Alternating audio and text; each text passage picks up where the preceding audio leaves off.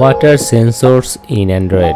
Sensors in Android are hardware or software components that detect and measure physical properties of the device or its environment like motion, position, light, temperature, etc. They allow your app to sense the world around the device and respond accordingly. To make our concept clear, we can make an analogy. Sensors are like superpowers of your phone. Imagine our phone is superhero. It can hear movement, accelerometer, it can it knows direction, magnetometer or compass.